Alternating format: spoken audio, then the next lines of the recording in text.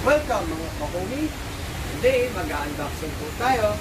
But before that, please like and subscribe to our channel, Tony Grab.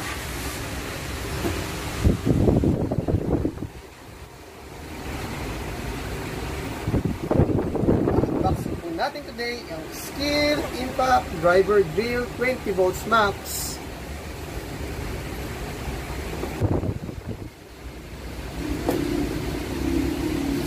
Siya. Sama niyo po, first po yung unit.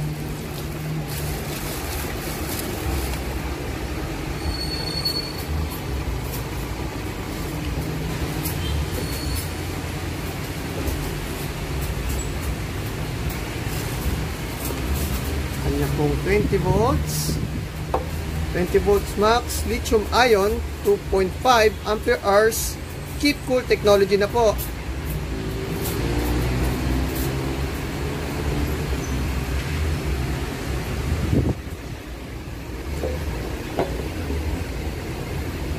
Kanyang charger.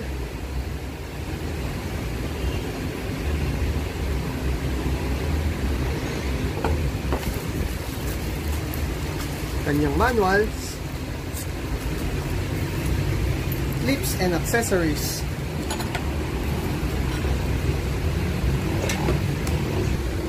Ito po, titest na po natin ang ating Skill Cordless Impact Drill. 20 volts max na po yan. 3 functions po siya. Po natin ang kanyang battery. Easy slide lang po. Meron na po siyang metal head shock. Hanggang 13 mm po ang kaya niya pong kaya po niyang drill bit. Ito po ang kanyang mga function. For metal drilling, wood drilling, at plastic. Ito. Pwede rin po siya for screw. Meron po siyang torque selection for screw driving. Ang skill cordless driver po natin, meron pong 55 Newton meter torque. Meron din po siyang impact drilling for masonry and bricks. For high speed function po, switch lang po. LED light indicator for forward and reverse function. Meron din po siyang LED light indicator.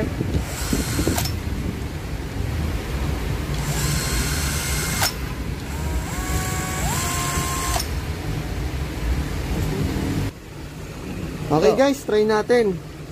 Ito yung kasama niyang drill bit para sa pag nag screw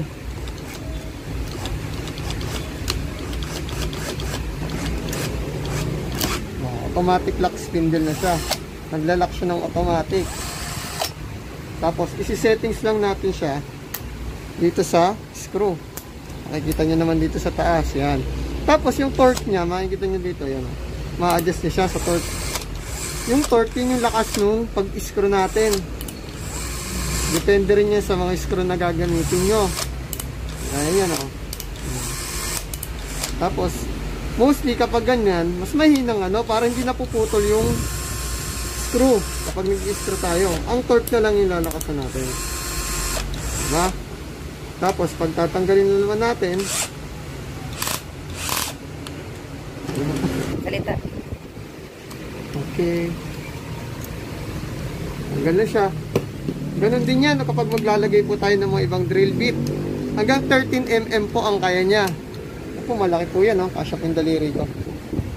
Hmm. Pag mga masonry naman, kagaya ng semento, kunyari magbubutas kayo, magsasabit kayo ng kortina, ito lang po, dito lang natin itatapat. Tapos mostly, kapag ganon, kailangan mas malakas ang ikot. Kaya ihahay natin siya. Naka-forward siya.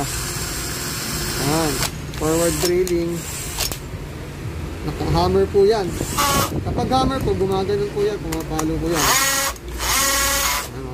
Maririnig nyo. Yun, lakas ng hammer niya. Tapos meron din tayo for drilling lang. ordinary drilling, kagaya ng kahoy, bakal, o kaya plastic. Pwede po siya dyan. Tapos dito naman po sa battery niya, 3. okay guys, sa try natin. Yan, battery, may battery indicator siya. Yung kasama niyang charger. Tatry natin siya dito ngayon. Pagtanggal po, ganyan lang po. Press nyo lang po ito. Pagpapasok nyo naman, yan. Easy lang yan. Oh. Tap nyo lang. Kapag ito-charge nyo siya, sakan, ganun po, pabaliktad naman. Naka-indicate naman po dito sa harap kung kailan nyo charge. Ayan, kapag ganyan po, kulay red siya, ibig sabihin, wala po siyang charge. Nagbiblink po siya habang nagcha-charge. Kapag puno na po siya, mag stop na po siya ng charging. Makikita nyo rin siya dito sa kanyang indicator. Built-in indicator po yan. Kasama na po yan sa battery niya. Okay po. Kung may tanong po kayo guys, pwede po kayo mag-visit sa aming store sa Unit 107 Maxwell Gas Station, Barangay Mayamot, Antipolo City, in front lang po ng SM City Masinag. Ulit po guys, tatagpuan lang po ang aming store sa Unit 107 Maxwell Gas Station, Barangay Mayamot, Antipolo City, in front of SM City Masinag.